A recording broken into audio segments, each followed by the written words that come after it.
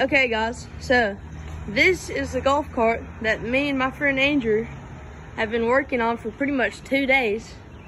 And we like, at the beginning it was pretty much brown and it was completely just not existent. It didn't start at all. But you see under the hood, you see the engine, exhaust pipe, battery and everything, fluid, all that. We did a little adjustments to that.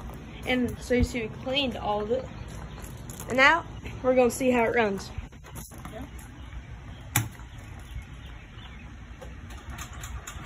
Sweat.